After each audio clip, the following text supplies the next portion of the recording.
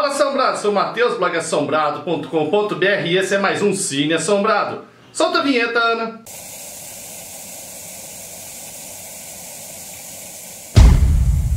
Cine Assombrado número 39, vamos ver o que o Getro, esse cara aqui, ó, que sabe tudo de cinema, separou pra gente falar. Nós vamos falar do filme Encounters, Atroz e do 15.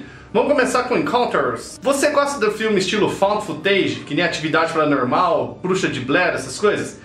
Pois esse filme dinamarquês, o Encounters, está causando sensação. Ele foi exibido em alguns festivais internacionais e muita gente que estava assistindo passou mal. Eles já estão dizendo que é o melhor found footage desde o Bruxa de Blair. Esse filme conta a história do que então? De um pequeno grupo de videomakers dinamarqueses que desaparece nas florestas do norte da Suécia em 2011, sem deixar vestígios. Um ano depois, um grupo de hackers conhecido como Pandoras vaza na internet as gravações feitas pela tal equipe, e o material exibido é extremamente assustador. O trailer sugere que os dinamarqueses encontraram alienígenas e foram abduzidos, porém, quem já assistiu garante que o filme é muito mais do que isso.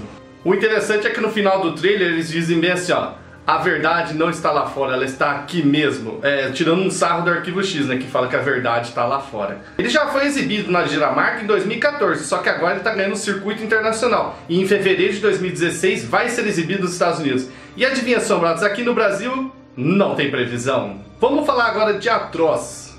Você tem o um coração forte, você aguenta ver aquelas cenas de violência bem forte, então esse filme Atroz aqui é para você. Ele foi produzido por ninguém menos do que Ruggero Deodato Sim, aquele cara que fez só o filme Holocausto Canibal e está sendo considerado o filme mais violento do ano do México e para alguns o filme mais violento mexicano já feito. Sim, ele é um filme mexicano de baixo orçamento. A trama acompanha dois assassinos que, após se envolverem num acidente de trânsito na cidade do México, são presos pela polícia. Entre os pertences dos dois rapazes, as autoridades encontraram uma série de fitas de vídeo que mostram a dupla em ação. Um material extremamente pesado, contendo cenas fortes de tortura, perversão sexual e assassinatos brutais provocados com violência extrema e sadismo.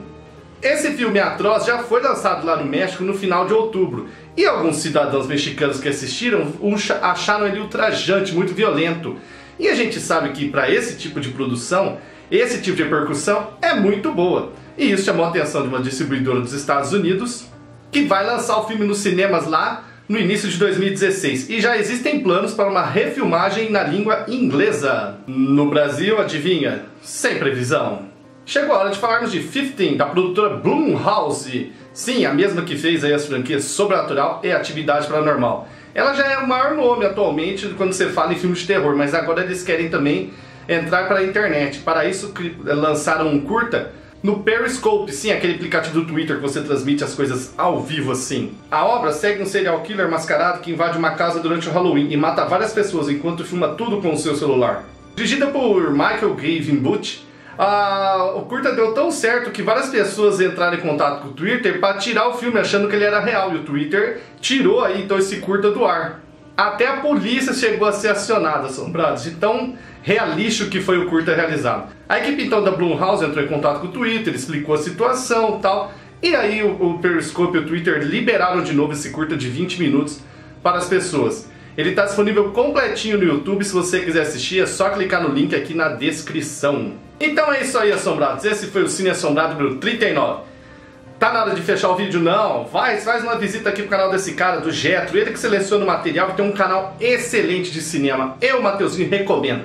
Vai lá, o link tá aqui na descrição ou clica aqui onde tá minha mão aqui, que você já vai abrir o canal dele. Ok, assombrados? Até mais!